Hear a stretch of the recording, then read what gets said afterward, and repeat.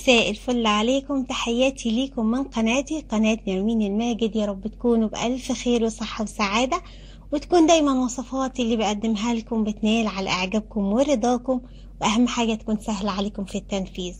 النهارده بقى واستكمالا لحلقات الأكل الصيامي اللي إحنا مكملين فيه بمناسبة صوم الست العذراء.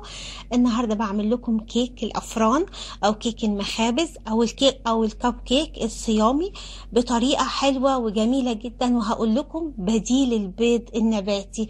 لأول مرة هتشوفوه النهارده على الفيديو عندي أو في القناة. هتشوفوا حاجة كده إحنا بنعملها في الكيك.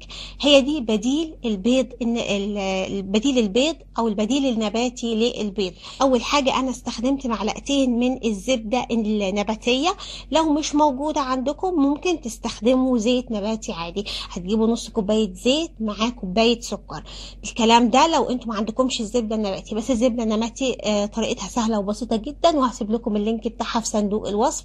أو هتلاقوها في القناه في قائمة الأكلات النباتية سهلة وبسيطة جدا جدا جدا. هي حلوة جدا في الحلويات بتطلع نتيجة جميلة جدا. بس بديلها بديلها هو الزيت النباتي.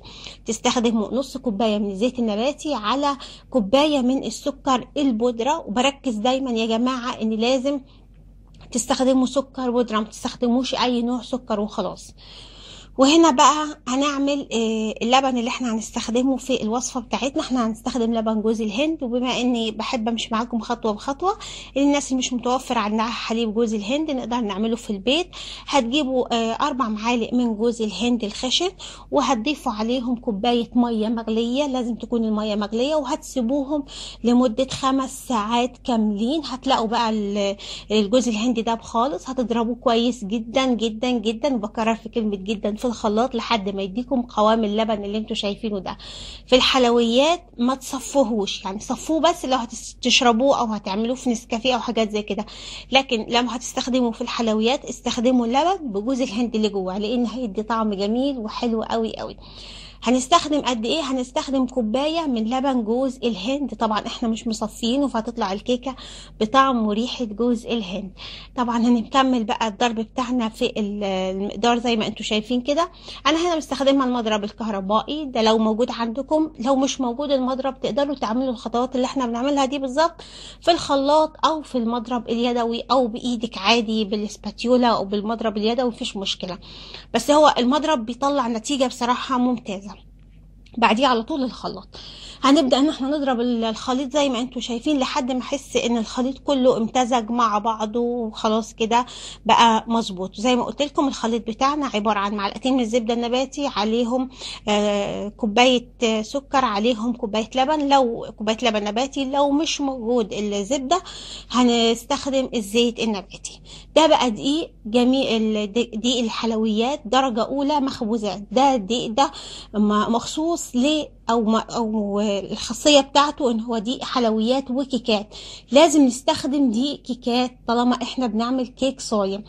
بضيف عليه بقى هو ده بديل بديل البيض النباتي أو البيض النباتي. بضيف معلقة من ال baking powder ومعلقة من ال baking soda ال baking soda دي هتلاقوها عند العطار متوفرة جدا. بس النص معلقة من ال baking soda مع معلقة ال baking powder بتدي نتيجة أفضل بكتير من لو إحنا ضفنا باكو baking powder كامل بالنسبة لكمية الدقيق أنا بستخدم كوبايتين من الدقيق. طبعا تقدروا تضاعفوا المقدار يعني مثلا أنا هنا عاملة حوالي 3 مقادير. براحتكم أنتوا تقدروا تعملوا مقدار 2 3 على حسب ما أنتوا عايزين. عامة الكيك ده بيقعد فترة طويلة جدا وهقول لكم إزاي تحتفظوا بيه أطول فترة ممكنة. ما تستخدموش كوبايتين دقيق مرة واحدة لا. بننزل كوباية ونص وبنسيب النص كده على جنب لحد ما أبدأ إني أنا أحس إن الكيك بتاعي بتاع مثلا محتاج دقيق تاني لا مش محتاج دقيق تاني على حسب كمية السوائل اللي بتبقى موجودة في الكيك. آه زي ما أنتم شايفين كده أنا استغنيت خلاص كده عن المضرب وبستخدم الإسباتيولا أو المضرب اليدوي علشان مخرجش الهواء اللي أنا بدخله جوه الكيك علشان الكيك بتاعي يبقى عالي وهش ومرتفع جدا. بالنسبة للقوالب بتاعة الكيك دي هتلاقوها موجودة في الأفران متوفرة يعني مش عايزة أقول لكم موجودة في كل الأفران ورخيصة. بديل القوالب دي ممكن تستخدموا صواني الكب كيك وممكن تسووها في كيكة عادية بس إحنا حبينا يعني نعمل حاجة جديدة. بجيب صاج الفرن الكبير اللي إحنا بنعمل فيه مثلا الفايش والبسكوت والحاجات دي وبرص جواه ال- القوالب دي اللي أنا بشتريها من الأفران. القوالب دي على فكرة فويل بتستحمل درجة الحرارة عالية بس لازم نرصها جوه صينية بالطريقة اللي أنتوا شايفينها. بس والنص التاني بيبقى فاضي عشان طبعا الكيك هيعلى. بكون مسخنة الفرن قبليها بعشر دقايق على درجة حرارة عالية.